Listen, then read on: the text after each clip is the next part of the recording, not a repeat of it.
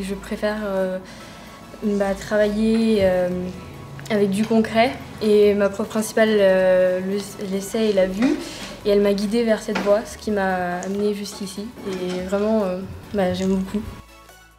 On met largement l'accent sur la pratique scientifique, beaucoup plus que sur la théorie, comme c'est le cas dans l'enseignement général.